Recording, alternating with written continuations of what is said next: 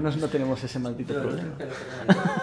Bueno, Dani, es un placer tenerte aquí en el canal. La clase ha sido brutal, fantástica. ¿Te ha gustado? Te lo tengo que decir, sí. Ha sido intensa físicamente, Sí. pero me ha gustado mucho. Y ha habido ciertas cosas que he pensado durante la clase que te las compartiré ahora. Por favor. Pero lo primero que me gustaría que compartieses con la gente es algo muy interesante que mucha gente me ha preguntado y yo no he tocado mucho en el canal. Tú has conseguido algo que pocos consiguen y es dedicarte profesionalmente a las artes marciales. Háblanos un poco de la historia esa, porque un día me la contaste a mí y me pareció fantástica. ¿Cómo empezaste? Sí. Un poco la versión resumida, pero no súper resumida, de tu, bueno, el viaje que hiciste, que hiciste un viaje a China, cómo empezaste, dónde estuviste y cómo has acabado al final en un dojo en una de las mejores zonas de Madrid. A los 8 empecé judo, típico, en el colegio, como todo el mundo, judo, karate o taekwondo. Eh, a los 15 me enamoré de las artes marciales. Hasta los 15 entrenaba duro, entrenaba bien, pero lo típico, no te lo tomas tan en serio. Sí, claro, es, es más como un pasatiempo, ¿no? Claro, exacto. Entonces a los 15, de repente, llegué un día y dije, wow, yo quiero esto para toda mi vida. Entonces, cuando decidí eso, Mm. nunca paré. Nunca paré hasta el día de hoy. Y ahora es cuando te voy a contar lo que te conté, que yo creo que es lo que quiere estar. Estuve entrenando durísimo, cuatro horas diarias, de lunes a viernes, de lunes a sábado, de domingos también, lo que sea, por las noches a las 3 de la mañana, tal. Y antes de montar la escuela, había ido ya dos veces a China. Había estado como unos 6, 7 meses hasta entonces. Y cuando volví, yo dije, a ver, ¿Cuánta gente vive de las artes marciales? ¿Con qué edad te fuiste a China? La primera con 19.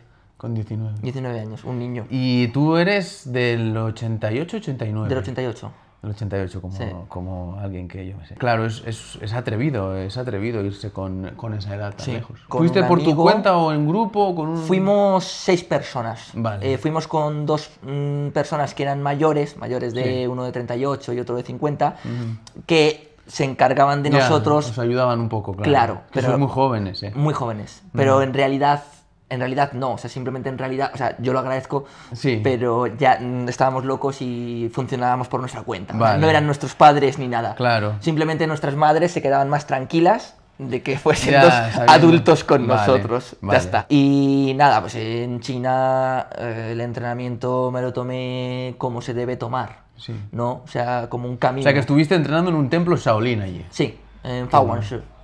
Que por cierto, quiero llevar a los alumnos ahora en breve. Bueno, en breve. eh, Hostia, ¿cómo- pero tal. ¿Cómo Sí, eran las condiciones en las que te quedabas y en las que comías y en las que todo?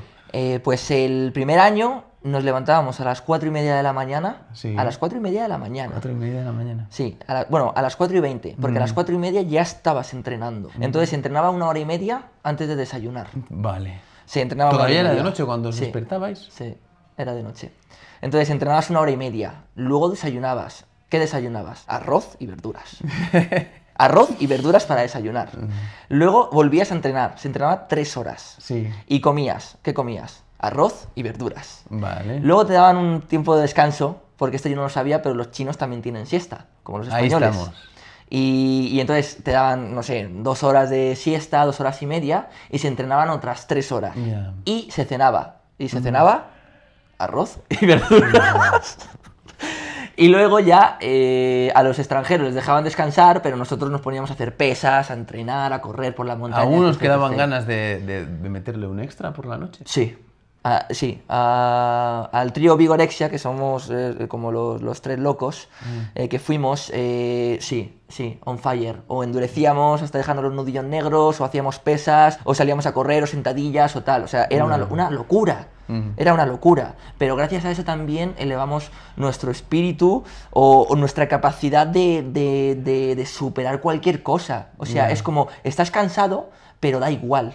¿Sabes? O sea, tienes que darlo todo. Y, es- después te espera el arroz y verduras. y luego el arroz y verduras, exacto. Y es curioso porque al principio dices tú, joder, estoy- o sea, te- me apetece un colacao. Me apetece, Ya. o sea, lo que estamos acostumbrados en España, que de niño nos han dado azúcar, entonces te, te apetece azúcar. Pero luego dices, hostia, es que me apetece arroz y verduras. ¿Sabes? Y, y es una pasada, es una pasada. Y se pasa mal, se pasa muy mal. Yo recomiendo a toda la gente que vaya o que vas mentalizado. Yo hubo un año que me cabreé con uno porque le, le dije cómo era China y me dijo, no, no, que yo voy, que yo voy. Entrené un día y al día siguiente quería comprarse el vuelo para volver a España. Esto es que esto no sé qué. Y yo, pero tú eres eh, iba a decir una palabrota. ¿De qué vas, tío? Sí. O sea, mm, vas a un templo en mitad de la montaña a entrenar ocho horas diarias, ¿qué te pensabas? ¿Tienes, ¿Sabes? Tienes fotos, imágenes, las meteremos en, Sí, te en pasaré. el vídeo para, como inserto mientras estás comentando, Sí. porque será súper interesante. Sí. Veremos al joven Dani. Sí, sí. En, al- en- me vais a ver con la cabeza rapada, en eh, otro año con el pelo a lo afro, eh, otro año, ¿sabes? Eso, eso iba creciendo a lo loco. Que, o sea, que fuiste varios años. Sí, eh, tres años eh, diferentes. Y, y bueno, y la cosa es que eh, yo, China, eh, fue un antes y un después. No es como la gente piensa, porque la gente piensa que vas a tener un maestro detrás de ti con una vara de bambú eh, dedicándose en cuerpo y alma a tu entrenamiento. Eso no es así. Tú eres uno más. Y por ser extranjero probablemente seas un poco menos. Ya. ¿Sabes? O sea, son, en ese sentido son un poco racistas. Mm. ¿Vale? O sea, protegen mucho su cultura. Vale. Eh, luego, cuando ya te cogen cariño, es otra cosa. Pero Mm. para que te cojan cariño, no basta con que tú pagues un mes. No, no, tienes que estar ahí mucho tiempo y tienes que convivir con ellos y tienes que irte con ellos eh, y comer con ellos y estar con ellos y contarle tus sentimientos y que él te cuente. Vale. Entonces ahí ya Claro, tienes que forjar una relación como cualquier persona. Exacto. Entonces muchas veces la mayoría del- de, los extranjeros se creen que van a ir allí y ya va a ser como el señor Miyagi con Ya, Daniel San, ¿sabes? ya. Ujú. Y no es así, no es así. o sea, al maestro no le importas nada hasta que Vale. le empiezas a importar. Vale. Te fuiste a China, volviste, volviste a ir el año siguiente, seguiste con tu pasión marcial. ¿Y qué es lo que pasó después? ¿Cuál fue el siguiente paso? O sea, porque ya nos plantamos con 19, 20 años. La mayoría de la gente normalmente suele estudiar una carrera, ponerse a trabajar. ¿Tú qué hiciste? ¿Qué Sí, pensaste? pues la cosa es que mm, en esa época eh, la conciencia de los estudios y del trabajo estaba muy enfocada a tienes que buscar un trabajo que dé que, dé salidas La estable. salida, la palabra salida. La sali- exacto, ¿no? Tienes que estudiar algo que tenga Salidas salidas. era la palabra mágica. Y nada más salir de la carrera tienes que encontrar un trabajo estable y morirte ahí de asco. Y yo estuve, eh, no, yo quiero dedicarme a las artes marciales, quiero ser maestro de kung fu, tal. Me llevaron al psicólogo del colegio. Mm. Eh, de verdad, esto es una pasada. No, la- el psicólogo no tiene la culpa. Sí. Es, es lo que hemos hablado, ¿no? Eh, los, todos los profesores en contra me llevaban al despacho del director, eh, todo para quitarme la idea de- del kung fu. Del Kung Fu. Sí. Además es que era específicamente Kung Fu. Kung Fu. Sí. Y querían que estudiase el, lo que tú estudiaste, sí, ciencias del deporte, Sí. de la, la carrera, ¿no? El- la licenciatura que era en ese momento. Y, yo, no, no quiero tal. No, que sí, tienes que elegir una carrera de, de las, de las carreras que hay en estos cuatro papeles. Y yo, pero Ya. es que no me gusta nada de lo que hay aquí, ¿sabes? Ya. Tal. O sea, que te da muy bien el deporte, pues ciencias, tal. Al final, al final por presión, digo, pues me meto en el módulo superior, en el Vale. TAFAT. Sí. Eh, y, y tal. Eh, entonces eso, me metí en el Tafat tal, mientras curraba y seguía ahorrando pasta, y seguía ahorrando Vale. pasta. Y bueno, pues eh, después del Tafat eh, me metí a medicina china, eh, después de medicina china osteopatía, tal, a la vez que empecé a abrir la escuela de Kung Fu. Sí. dos horitas a la semana, mientras trabajaba 24/7. Ah, Alberto. vale. Y empezaste a abrir la escuela. ¿Dónde la abriste? En un garaje de dos plazas. Vale. De dos Vale, coches. O sea, caben dos coches seguidos. O sea, tú la escuela la tenías en un garaje de Madrid. Todo Sí. esto en Madrid. Sí. Porque tú eres de Madrid, Sí. te criaste aquí Puro en Madrid. ¿Tus padres entendieron bien tu obsesión por el Kung Fu? Sí, sí, hay- mi madre desde siempre eh, me ha apoyado, la verdad. Ah, pues eso es Podía haber tenido una madre que, no, lo típico, estudia algo con salidas, ¿no? Sí.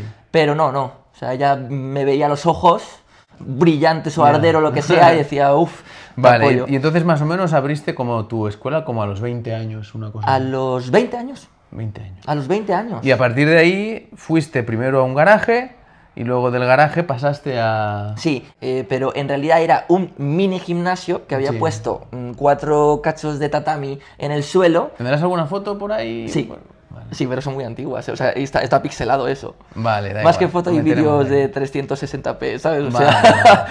y, y, en- y entonces en ese mini gimnasio, eh, pues empecé las clases.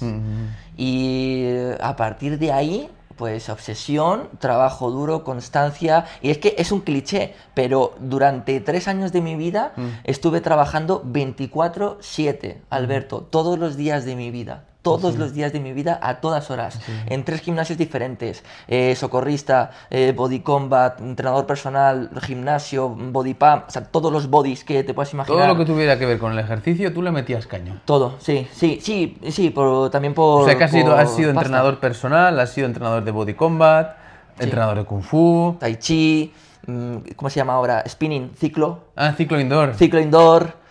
Eh, Todo ¿qué- lo que tuviese que más? ver no sé. ABS workout 30 minutos, no, ya, no ya. sé, ¿no? Es como Todo lo que tuviera que ver con el ejercicio. Sí, sí. Y entonces me pegué una paliza brutal a trabajar porque yo tenía eh, un objetivo que era eh, abrir, o sea, tener una escuela Vale. eh, y tal. Entonces ahorré 18.000 euros. Vale. 18.000, me acuerdo del número. Con 18.000 euros dije, tengo para vivir un año y medio sin ganar absolutamente nada. Vale, Porque la matemática en ahí. ese momento se podía vivir con 1.000 Sí, euros, ¿vale? hoy tendrías, seis- hoy tendrías- hoy tendrías para seis meses.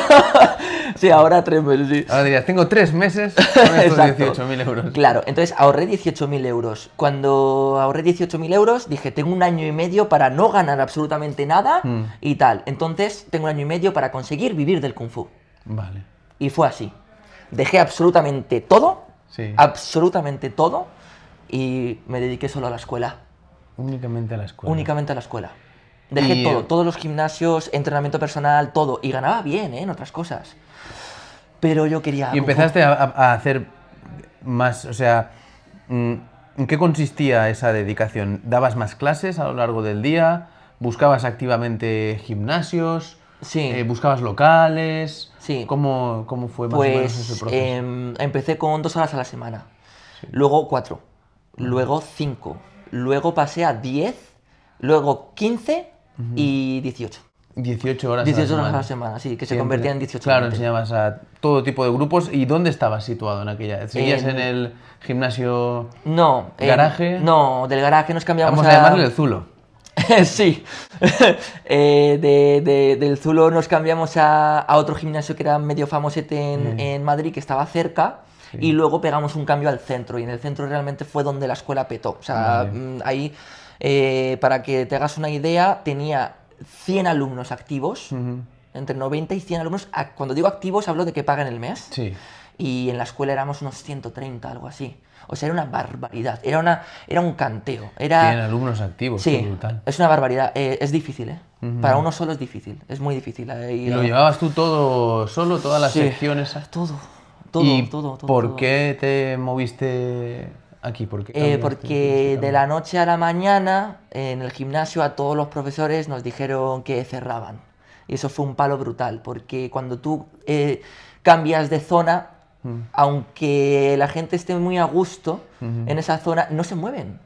La mitad. Entonces, de esos 100, vamos a, supo- a suponer que me lleve 50. Y luego, por desgracia, tuve otro cambio. Y me llevé 40. Y luego, por desgracia, tuve otro cambio. Y fue una barbaridad. Y luego ya encontramos esto. Vale. Y dije, aquí nos asentamos y volvemos a crear escuela. Volvemos a crear escuela bien, porque con tanto cambio yo emocionalmente estaba mm, jodido. Era complicado. claro. Complicado, sí. Pero bueno, la metáfora de esto yo creo que era eso, el, el ahorrar, ahorrar, ahorrar Sí. y decir, vale, lo peor que puede pasar es que dentro de un año y medio tenga que volver otra vez a, a, a tocar currar Sí. en un, de, de monitor de sala. Exacto. ¿Sabes? Eso, era lo, eso es lo peor que puede pasar, pues me lanzo.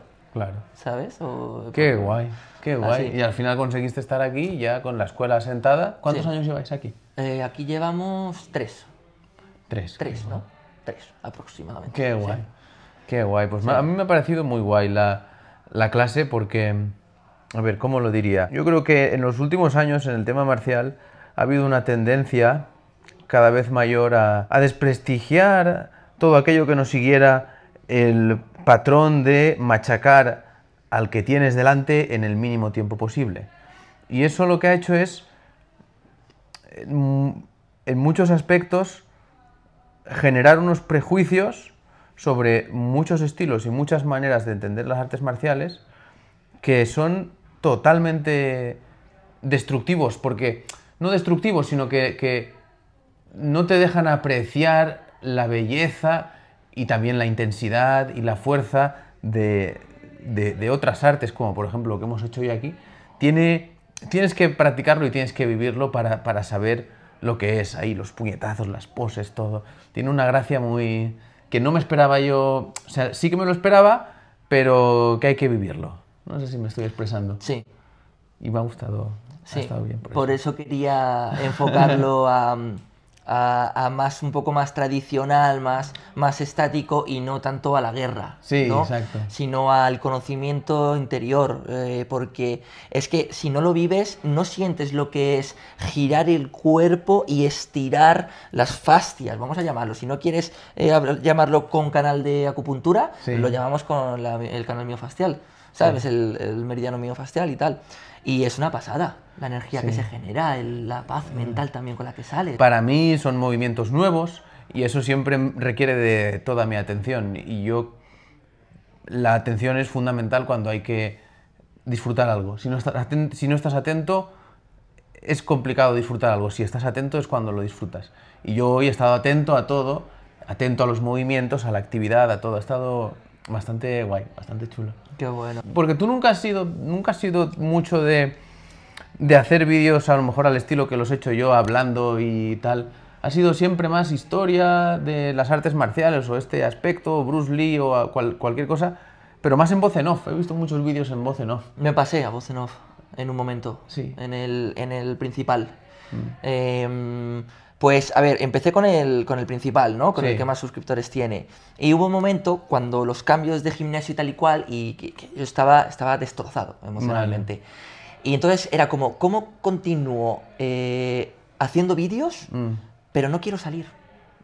Porque no puedo, anímicamente. No que no pueda, claro que puedo, pero, Sí. pero me siento mal. Ya. Entonces de repente se me ocurrió, oye, pues mira, voy a poner cuatro imágenes y, y pongo un voz en off. Claro. Y de repente fue bien. Pero claro, luego, cuando ya me encontré mejor, quería seguir haciendo vídeos de Kung Fu. O sea, Sí. de lo que es la parte eh, física, o sea, eh, visual. Y entonces abrí el canal, otro canal de Kung Fu. Y ese pues ya no, no está mal, tiene creo 29.000 o algo así. Y luego he abierto otro de filosofía. Luego ahora he abierto también TikTok el año pasado. Y Instagram no le doy mucha caña, pero bueno, también está ahí. y, y un par de canales secretos que no te puedo decir. ¿Son en YouTube o en otras En YouTube, en plataformas? YouTube. Tengo un par de canales secretos por ahí. Ah, vale, vale, ya pensábamos que otras plataformas para mayores. Sí. Bueno, Bueno, que me- se me pasó por la cabeza, la verdad, pero... el libro. Tenemos aquí el libro de Dani. Cinturón negro de la vida. Horatio, por favor. Estaba mirando detrás de la cámara. Cinturón negro de la vida, muy guay. Yo tengo el mío dedicado por Dani, afortunadamente. Lo que pasa es que lo tengo en Valencia. Pero, pero está, muy, está muy bien, os recomiendo. Porque es, son como frases con su reflexión. Además, se puede leer de picoteo, que es lo que, que, es lo que digo yo. O sea, de picoteo me refiero es, por ejemplo, te vas al váter y dices, pues voy a abrirlo por aquí y siempre tienes algo que leer. No hace falta que, o sea, no es, no es tipo novela, ¿entendéis lo que os quiero decir? Muy interesante. Yo lo que he visto muchas veces en, en el mundo de las artes marciales, independientemente de si son tradicionales o deportes de contacto, hay hate de, entre escuelas, de unos estilos a otros, de unos, hay, hay mucho, no sé, ¿cómo te diría yo? Como muy a la gente muy cerrada de mente, pero otros también que a lo mejor quizás tienen cierto sentimiento de inferioridad y lo que hacen es atacar a este porque, pues yo qué sé, porque tiene más éxito que yo o lo que sea, porque yo quiero, necesito eso para sentirme mejor conmigo mismo. Entonces yo en el mundo marcial he visto bastante eso, he visto bastante hate. Em, eh, ¿Has vivido tú el hate? sí. ¿Has, has, has visto las películas de artes marciales en las que las escuelas se pelean, eh, hablan con los alumnos del otro para que meta mierda y mi escuela y mi estilo es mejor y tal y cual? Pues la realidad supera la ficción. La realidad supera la película de Ip Man, donde están todas las escuelas peleándose, la supera. Y no es broma, no estoy de broma. O sea, tú has sufrido, por así decirlo, algunas... eh, ya no hablemos de hate normal, porque claro, uno No, cuando no. está en las redes es normal. Claro. Pero has sufrido como, como eh, ataques un poco más sofisticados, podríamos decirlo, o, o estrategias o tácticas sucias para o bien atacar tu reputación o bien quitarte alumnos o algo así. Constantemente. Cuéntanos, venga, cuéntanos algo. ¿Qué puedes Constantemente. contar? Desde el principio de los tiempos, eh, al principio eres pequeño.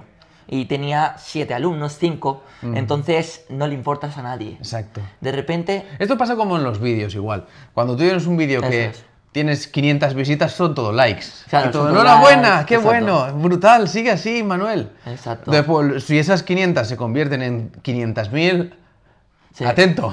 Exacto. Pre- pre- Prepárate. van a empezar a salir. pues muchísimo, Alberto. Es más o menos igual. Al principio mm, no eres una escuela pequeña, entonces no haces mucho ruido. Pero de repente empiezas a crecer, a crecer, a crecer y ya te conviertes en alguien que dices, ostras, esto es competencia. Porque mis alumnos que van a pensar de este tal, Sí. entonces le tengo que criticar. Y, Sí. y, no es broma que yo mismo he recibido y muchos compañeros críticas de otros maestros y de repente te llega un comentario y te dice, es que este maestro te pone a parir. Y tú, pero si ni le conozco.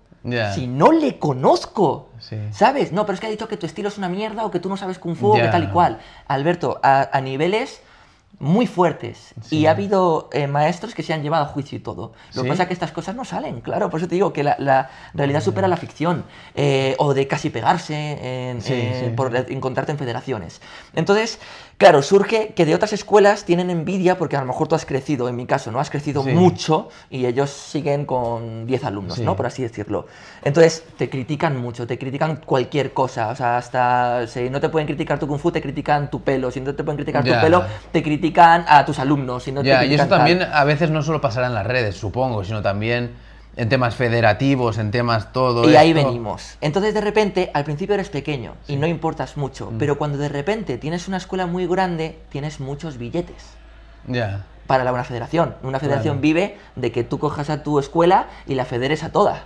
Claro. ¿Sabes? Si yo federo a mi escuela Ujú. y en el, en el antiguo gimnasio, por ejemplo, cuando éramos 100, Ujú. son 100 personas que pagan 70 euros de federación.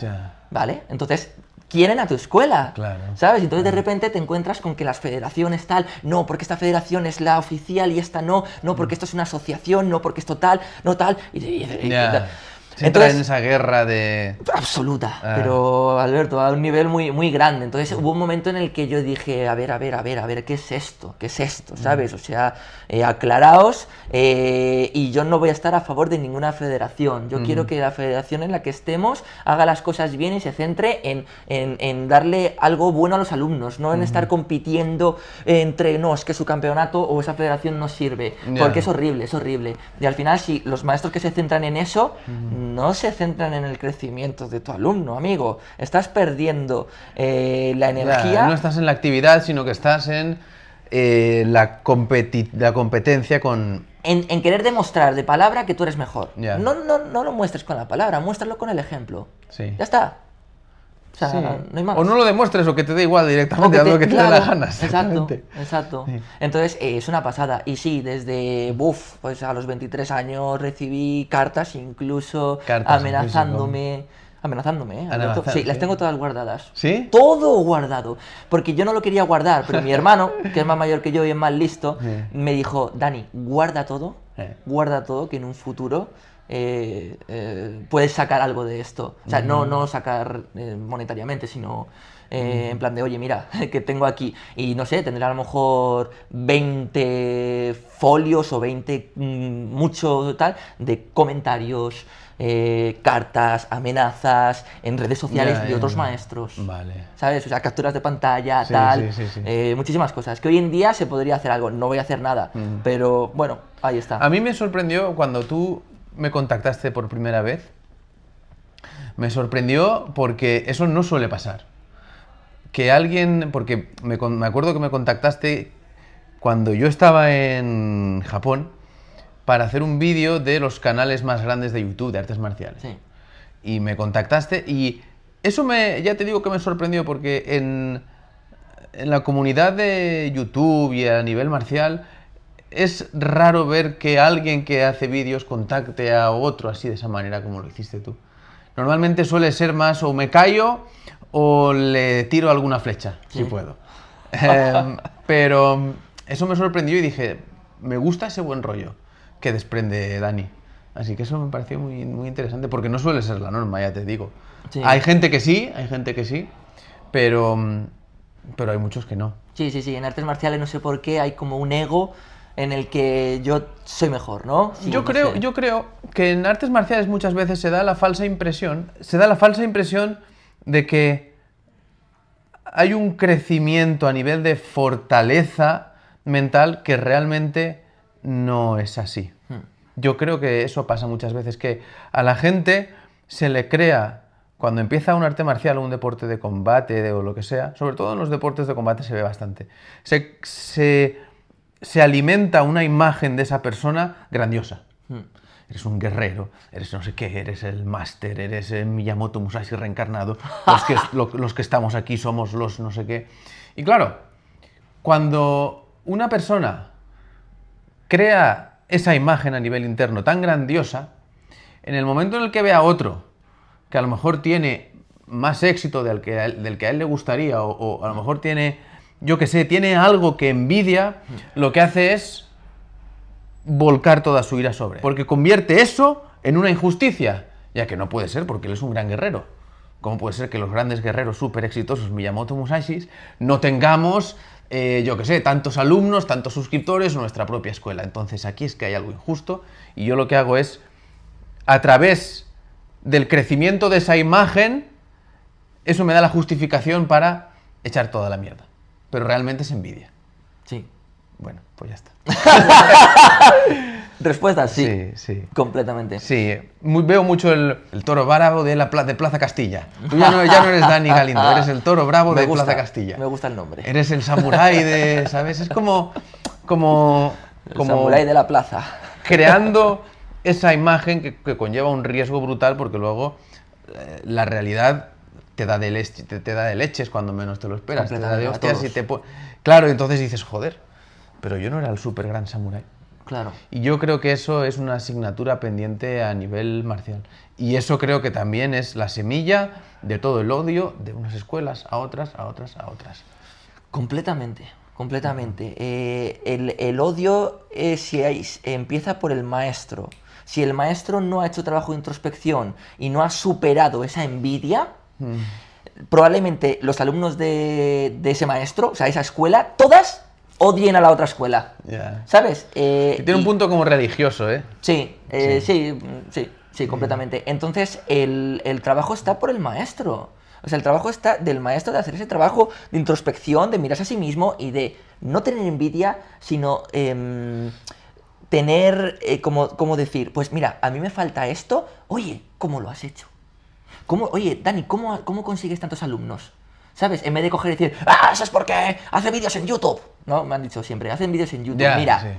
Em, YouTube me ha- traído algún alumno después de 5 o 6 o 7 años de hacer YouTube. Sí, ¿Sabes? sí, O sea, no, no, tal. Entonces buscan cualquier cosa y es como, joder, es que yo cuando veo algo que tiene una Claro, persona. claro, porque ellos se ven, tienen esa, esa, esa, esa imagen y ellos ven tan injusto que tú tengas y que ellos no, porque ellos son y tú no, no sé qué, según, según, pero claro, eso, eh, lo que hay en el fondo de eso es el miedo, el Sí. miedo y la inseguridad. Si no, no te hace falta crear esa imagen. Esa imagen se crea para darte seguridad, aunque sea falsa. Entonces, como lo que subyace a eso es el miedo, la gente con miedo, la gente débil es siempre la que más líos te monta. Totalmente. Sin duda alguna, sin duda alguna. Mira, yo tengo eh, en YouTube, tengo muchísimas clases completas. Sí. Desde que están los chicos cambiándose en el vestuario, Sí. se hace la clase completa y salen eh, del vestuario, o sea, sal- salen del tal. Completa, sin cortes y sin nada. Sí. Muchas. Puedes analizar mi manera de dar clase, mi kung fu, el Sí. kung fu de mis alumnos, mis ejercicios. Todos, todo. movimientos, golpes, Puedes todo. analizar absolutamente todo, mi manera de hablar, todo. Bien. Eh, cuando yo he ofrecido eso a algunas personas, Sí. no querían. ¿Y sabes por qué? Porque están inseguros de que su clase funciona o no funciona. Claro, si porque te está- ven a ti y dicen, joder, a lo mejor no golpeo como él, no quiero verlo. O lo que pasa es sea, que eso lo tienen a nivel subconsciente y entonces lo tapan con otras historias. No, no, no es que eso es una mierda. Eso no vale Claro, para exacto. Porque claro, si lo ven, dicen, joder, cómo golpea este de fuerte ahí, los movimientos ahí. Está, está brutal eso que estás fastidiado de la rodilla, ¿verdad? Sí. Em, estaba brutal ahí los movimientos, los golpes, los tal. A mí me ha parecido muy interesante, lo has hecho con, mucha, con muchas ganas, mucha fuerza. Se nota que llevas muchos años además haciendo lo que haces, porque yo solo veo rápidamente si alguien golpea y lo hace con, con potencia y con equilibrio y con todo. Y me ha parecido fascinante. Y además he visto algunos vídeos, algunos TikToks, algunos golpes y, y muy bien. A mí me gusta, yo he disfrutado la experiencia. Qué bueno, gracias Alberto. Pues lo que, lo que estaba diciendo de, de, de los maestros, eso, de, de muchos, el problema es que no se atreven a sacar eh, como enseñan. ¿Sabes? Entonces es como, o sea, tú puedes criticarme todos. Es que, es, es que hay cantidad. No podrías criticar, no, tendrías, no tienes vida para criticarme todo el contenido que tengo, ¿no? Eh, pero eso demuestra, ¿qué demuestra? Eso demuestra una seguridad que yo tengo. No tengo miedo a ser criticado. Te saco mi clase, te saco la clase de patada, la clase tal, te saco los vídeos hasta aún con la rodilla, que me encanta porque hay comentarios en plan de, pues el maestro lo hace mal, y yo, era la primera vez que daba una patada eh, después de la operación, ¿no? Sí. Pero me da igual, no voy a justificarlo, yo voy a colgar el vídeo porque quiero enseñar a la gente y quiero eh, llegar a la gente que lo agradece, y es una pasada. Y bueno, y tú ¿Qué también te, sabes qué- de qué eso. te pasó en la rodilla? Me, mira, la, la rotura se llama rotura de menisco interno en asa de cubo invertida. Vale. Literal, o sea, una rotura de menisco interno en asa de cubo, que es algo así, y se le dio, se le dio, se le dio la vuelta. Ya. Y, te lo pusieron en el sitio y no. Me lo pusieron en el sitio, me lo cosieron, eh, a los dos, tres meses se me volvió a hinchar la rodilla porque se me algo... Se, se salió el líquido otra vez. Sí, mucho. Eh, luego eh, se inflamó el, el semimembranoso o el semitendinoso, luego se me volvió a hinchar, luego se me volvió a... O sea, fue una locura. Ya. Y entonces ya llegó un momento en el que dije, oye, tengo que hacer aquí un cambio porque si no esto es un canteo. Y entonces desde que tomé un cambio ya me estoy recuperando súper bien, pero todavía le falta Un puntito. un 15%, un 20%. Vale. Un, quin- un ve- un 15%. Claro, diría, un estás 15. siendo conservador un poco. Estoy siendo porque- muy conservador porque Sí. precisamente las recaídas ha sido por no serlo. Vale. ¿Sabes? Por, por no serlo, por coger y decir, ¡salto aquí! Ya. Y al día siguiente. Entonces ahora estoy siendo súper conservador. eh, Sí, soy sí. todavía joven, ¿sabes? O sea, para algunos. Bueno, para mí. Espero que, que te cures, ha sido, ya te digo, un honor. Y nada Para más. mí, Alberto. Chicos, espero que lo hayáis disfrutado. Y ya sabéis, carga el puño a entrenar.